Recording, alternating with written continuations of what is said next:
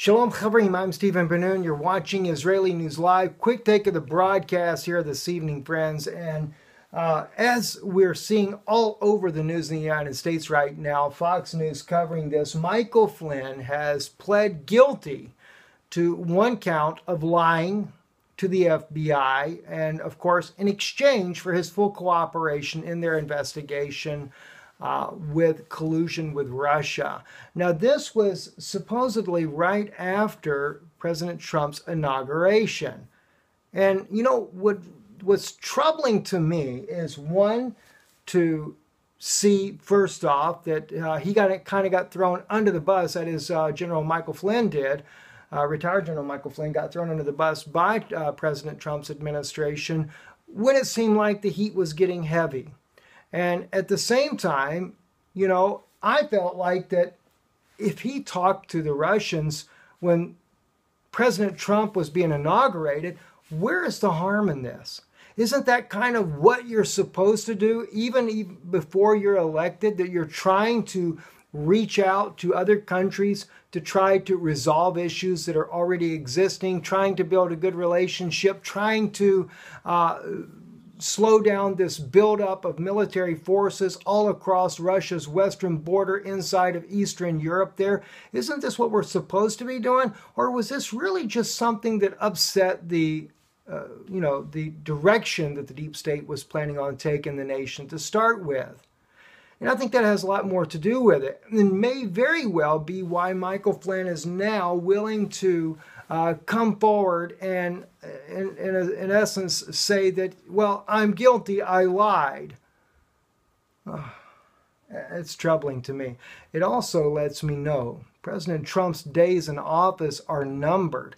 And if his days are in office are numbered as a result of Michael Flynn's cooperation with the FBI and in this investigation of this, uh, you know, involvement in the election, uh, well, you know, naturally, it, it, you know, was Russia involved in the election? Well, certainly, if they're going to do interviews, I've seen the interviews they do. I see RT News and Sputnik News, all the, the very news organizations that are considered to be propaganda.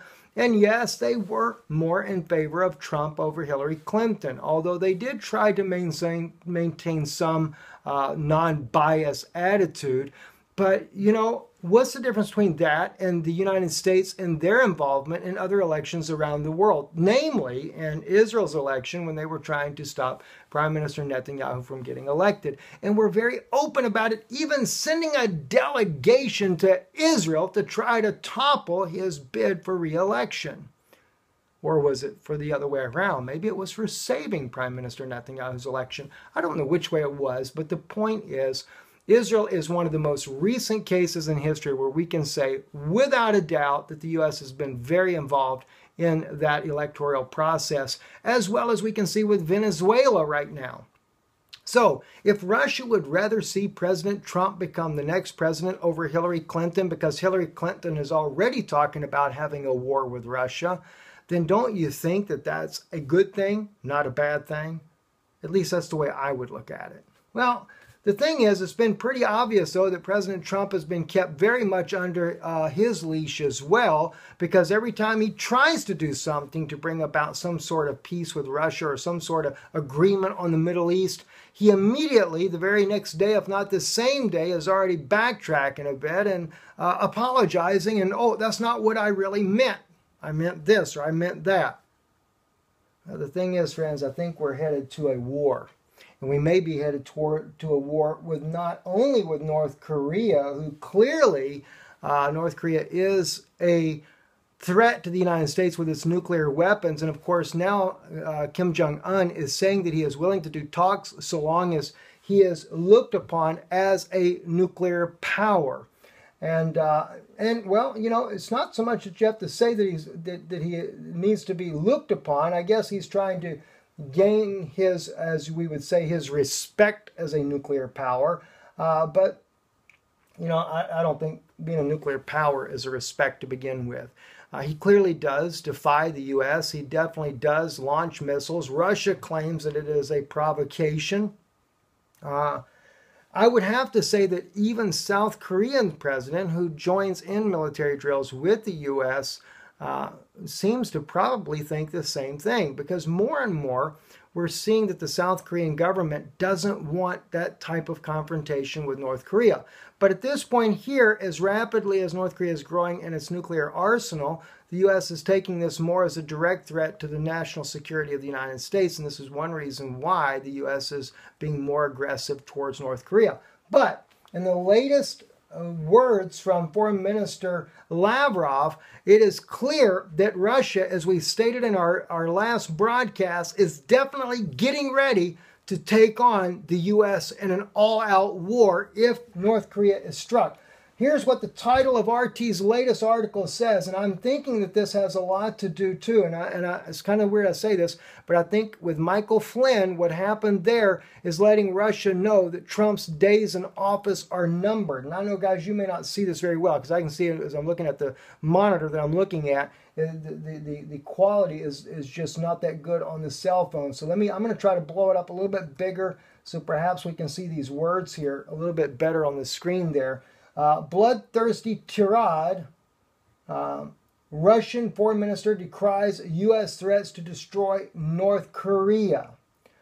Okay, now Foreign Minister Lavrov, he went a little bit bigger in his words in this article here. Says U.S. military action against North Korea would be a big mistake, Sergei Lavrov, Russian foreign minister, warned, adding that Washington is itself provoking Pyongyang to make new reckless moves by drills with South Korea and aggressive rhetoric. All right, if someone really wants to use force, as the U.S. representatives to the UN put it, destroy North Korea, then I think it's playing with fire and a huge mistake, Lavrov said during a visit to Rome on Friday. Now, I'm going to bring this up to you guys can see this, where I know you can see this because I want you to be able to see it. I'll, I'll also share a link in there for you as well. That's where uh, Foreign Minister Lavrov is saying. That clearly seems to indicate what I shared with you guys yesterday that Russia is intending possibly to get involved in a war if North Korea is brought into any type of conflict with the U.S. there. So it's troubling for me. And I say that, friends, you know, I mean, some people say, oh, just Russian news, you're Russian, you're Russian propaganda. Let me tell you something. I don't get no support from Russia whatsoever in what I say. What I look at is I look at things from a Christian perspective, from a from a Jewish believer in Yeshua, from prophecy, etc. These are the ways that I look at things. And I also look at things when I say as a Christian perspective, you know, what's the right thing to do? You know, if if we had the ability to be president of the United States or uh, leader in Congress or the Senate, how would we look at this and how would we handle this as a believer in Yeshua? You know, as Jesus says, do unto others as you would have them do unto you. And of course, that applies on both sides, both Russia and the United States, both North Korea and the United States. But we have to remember, North Korea is a communistic nation. They are not uh, people that are believing in Yeshua as Messiah. But in the case of Russia, Russia is, an Eastern Orthodox Christian belief. Now, I can't say that I agree with the, the, the way that Russian Orthodox uh, believes, but I don't believe with the Roman Catholic Church either, as far as that matter goes. But the principle, the fact that they all believe that Yeshua or Jesus of Nazareth is indeed the Messiah, this we do hold in common. And so therefore I appreciate that. So we should be looking at one another as saying, you know, do unto others as you would have them do unto you. Love your neighbor as yourself. You know, and Russia seemingly has been trying to find ways to make peace with the United States regardless of all the allegations that are going out there, they're trying to make peace with the U.S.